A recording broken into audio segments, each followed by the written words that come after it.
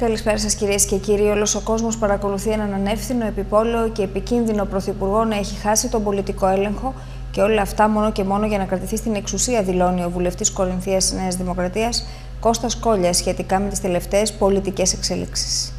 Ο ελληνικός λαός αλλά και ολόκληρος ο κόσμος παρακολουθεί έναν ανεύθυνο, έναν επιπόλαιο, έναν επικίνδυνο πρωθυπουργό να έχει χάσει τον αυτοέλεγχο, να έχει χάσει τον πολιτικό έλεγχο και όλα αυτά μόνο και μόνο για να κρατηθεί στην εξουσία.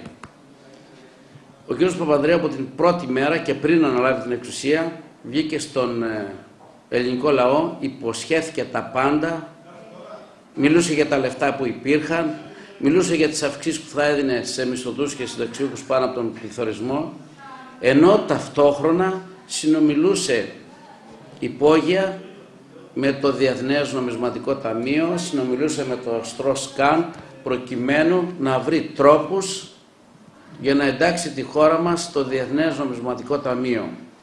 Την ίδια στιγμή έκανε ό,τι ήταν δυνατόν να ανεβάσει τα ελλείμματα, να ανεβάσει το χρέος, να μιλάει για μια Ελλάδα αφαιρέγγια, διεφθαρμένη, να παρουσιάζει την χώρα μας σαν τον την Ιταλικό και κατάφερε βεβαίως να μας ρίξει στις δαγκάνες της Τρόικα, να έρθουν τα μνημόνια, να έρθουν οι συμβάσεις, να κόβονται μέρα με την ημέρα οι μισθοί, οι συντάξεις, να κλείνουν τα μαγαζιά. Μια καταστροφική πολιτική που έχει οδηγήσει τον ελληνικό λαό σε απόγνωση και βαθιά απελπισία.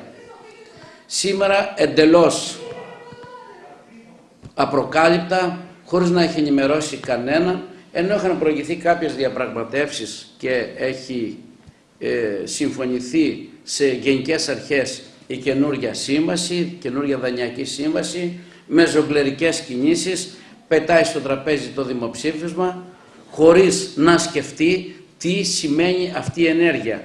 Ο κόσμος σήμερα χάνει περιουσία στο χρηματιστήριο, όλος ο κόσμος υφίσταται τις επιπτώσεις αυτής της απόφασης, πλέον οι Ευρωπαίοι δεν θέλουν ούτε να μας βλέπουν, μιλούν για έναν ανεύθυνο και επικίνδυνο πρωθυπουργό, αλλά το παρήγορο σε αυτή την υπόθεση είναι ότι η κοινοβουλευτική ομάδα του Πασόκ αντιδρά.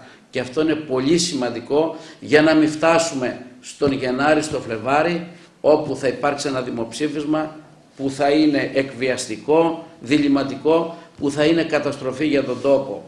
Την ίδια ώρα που γίνονται προσπάθειες σε όλη την Ευρώπη είτε να πιστούν οι τράπεζες να κόψουν το, τα δάνεια που έχουν χορηγήσει προς την Ελλάδα μέσω των ομολόγων, είτε οι κυβερνήσεις των κρατών να ψηφίσουν η, τα κοινοβουλιά τους αυτή την δανειακή σύμβαση, έρχεται ο κύριος Παπανδρέου χωρίς να ενημερώσει κανέναν και λέει ότι περιμένετε να δω τι θα κάνω εγώ με το δημοψήφισμα και στη συνέχεια εσείς θα αποφασίσετε.